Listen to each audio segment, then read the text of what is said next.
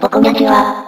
お、いきなりバトルコースか。まず分かって弾みをつけたいわね。それじゃあ僕は青土管あたりに。てあと、同じレーンに3人も入っちゃった。ほんとこれやり直せばまだ間に合うよね。本当に？だってコンベアで一周しなきゃ。手がか右に当たったら開いちまうぞ。ああ、そうかしまったご。めん、スタートしちゃったじゃない。あれ？これってもしかして、残念だがこの時点でボコニャンの負け確。でももう一周すればゲートは開くわよね。一応スタートはできるのか。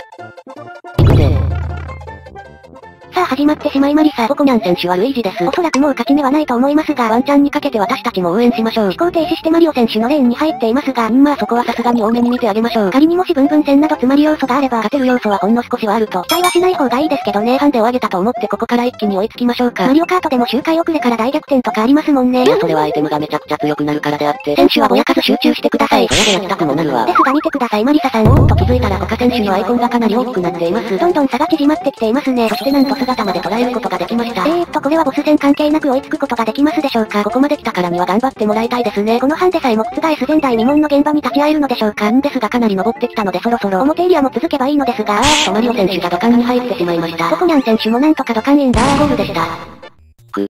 さすがに無理だったかい。やでもあの状況であそこまで追いつくのはすごいと思うわ。同時にスタートしてたら間違いなく勝ってたな。んだからこそ悔しいんだけどね。さあこのコースはマリオランドね。ほぼ先頭に出たもん勝ちだが、何気に敵も多くてやられる可能性があるんだよね。ところどころスーパーボールフラワーもあるが、いやそんなの取ってる暇はない。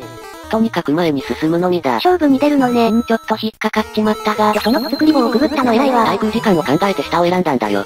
これでライバルが一人減ったわね。マリオとの差も開いたしこれはほぼもらっただろ。んでも原作に作り棒なんていないはずだけど。ま、これでゴールだからいいじゃない。よーし僕の勝ち。あーなにこれ。えー嘘でしょまさかのゴールが上にあるパターン。ちょっと本来ならそのまま走ってゴールできるじゃん。ま、まさかこれって、あー、キノピコに行かれちまったぞ。嘘でしょ。まさかの僕の負け？うーん。完全に油断してたんだぜ。まあ、作り棒もそうだしちょっとだけいじってたのね。そのちょっとだけがすごく痛かった。ま、気持ちを切り替えていこうぜ。でやっとスターが出てきたわよ。これは下ルートが正解と見た。うん、確かに敵を一掃できるが、おおほら見てよやっぱり正解じゃない。これはナイス判断ね。どんだけ敵を配置してんだよ。でももうゴールだ。よーしこれは気持ちのいい勝利。よく即座に判断できたわね。いやー、最初から下ルートが怪しいって思ってたんだよ。それでスターを取って確信に変わったってことか。誰も下ルートから行く人はいなかったもんね。うん、さあまずは前に出れた。うへー、ハンマーブロス。一応最速で行けばハンマーを投げられる前に突破できるけど。いやーここを突破したのはかなりでかいんじゃない？ああ、後続の人らは足止め食らってるだろうな。どうやらキノピオはやられたみたいね。多分誰も僕のドクロリフトには乗らないでしょ。よし、まずはかなりの差を開くことができたな。あとは音符ブロックで失敗して落ちないでよ。うんありそうだからめちゃくちゃ怖い。そしてそろそろアイテムも欲しいところ。最初のハテナブロックしか見えなかったもんな。でもゴールだったんだけどね。よしよし、やっぱりスタートダッシュは大事だね。ああ、そしてまたバトルコースか。って怠慢じゃないの？いや最近多いよね。さあ始まりさ。ボコニャン選手はマリオです。このタイプはおそらく周回コースですね2。周もしくは3周というのが多いです。まずは1周目でどんなギミックがあるのか見極めましょう。なるべく引っかかりが少なくいけるといいのですが、今のところはまずまずでしょうか。若干のラブもありますが大丈夫でしょうかラブで翻弄されないようにしてほしいところです。一応今は前を走ってると思われます。前半で差を開いてしまえば後半が楽になりますからね。細かい動きで差をつけていきましょう。うん、ここも壁キックで反動をつけられたらよかったのですが、とっさの判断は難しいですからね。さあ天井を走ってるのでおそらく1周目が終わるところでしょうか。いや見てくださいどうやら1周しかないようです。ということはこれでコースが終わりということでしょうか。条件の50コインがあればですが、さあどうでしょうか。うんどうやらまだコースは続くみたいです。うん、まあ勝ってるのでこのままさらに差を広げましょう。ルイージ選手のアイコンがいつ出てくるかも見ておきましょうか。そしたら私がタイムを測りますね。お願いします。さあ後半になりさらに動きに磨きがかかってきています。最近特に動きが良くなりましたからね。さあルイージ選手のアイコンが見えました。タイム差はどうでしょうか約11秒でしたね。おおこれはかなり差を開くことができましたね。んですがこの折り壁キックの反応がまだ甘いです。前にも言いましたが課題の一つですね。これを極めるとさらに強くなれると思います。さあ鍵ドアに入った先は、条件の50コインがありました。ボコニャン選手の勝利です。ふう、調子はいいから精度を上げていきたいね。うん、そしてレートもねお。前ずっと6400から6600台を意識してるからな。そろそろ6700の実力もついてきたと思うんだけど。あとはもうちょっとマリめに触ることね。週1でしかプレイしてないからな。でもその1日で5時間はやってるんだよ。ま、編集もあるから難しいか。うん、まあそんな裏事情はいいとして。なんかキノピオ物騒なもの持ってない？ま、お前がのこの子を足場にしてたんだけどな。この土管で跳ね返るからオケオケ。さあこの坂はちゃんと滑り切ろう。ふう、慌てずキャンセルしないことも大事。ここまでは順調ね。さあ中間か。ここで裏エリアに行くんだね。さあここは、あーっと吉尾さんがいるじゃん。うわボコニャンにヨシオさんを乗らせちゃ鬼にかまぼこなんだぜ。鬼にかなぼうな。ダメだよねキノピオくん。絶対そうなるわな。うんこればかりはキノピオに同情するわ。だが、ヒップドロップで奪われる可能性もあるからな。あんまり油断しちゃダメだからねも。ちろんわかってる。のこのこを食べて後ろに投げたり、ちょっとお前、あーちょっとルイージにぶっ刺さったじゃないの。えーっとごめんネタで投げたつもりだったんだけど、絶対ルイージブチ切れてるだろ。ったく。そんなことしなくてもあんたの勝ちだったじゃない。まあでも、みんな優しい人だったから全員でゴールができた。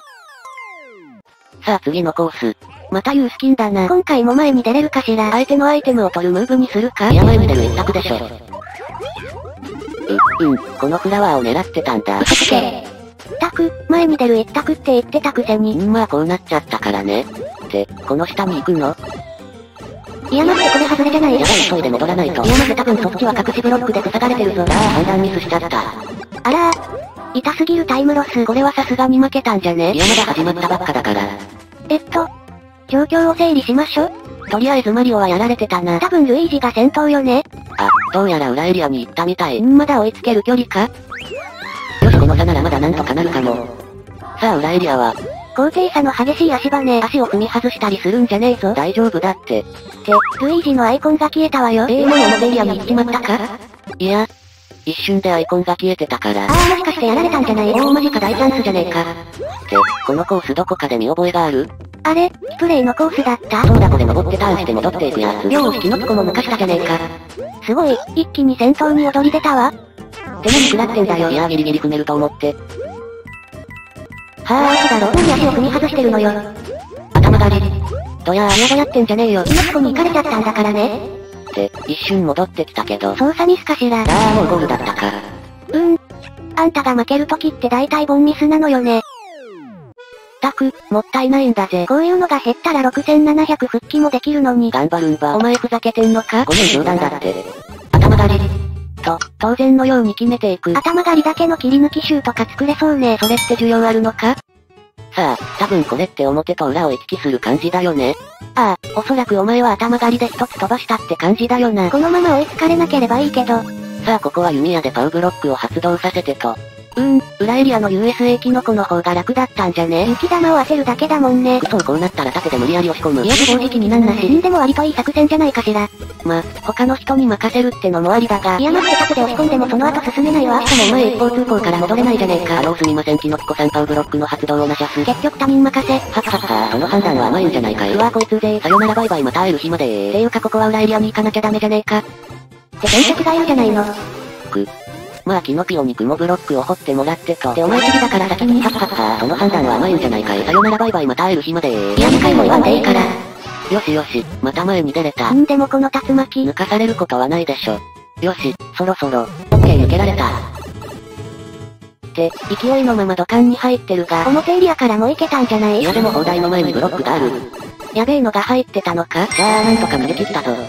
あ、中には花ちゃんだったのね。花ちゃんぐらいだったら抜けられると思うが、一生プニプニ弾んで抜けられないのかも。それじゃあみんな、次の動画へ行ってらっしゃい。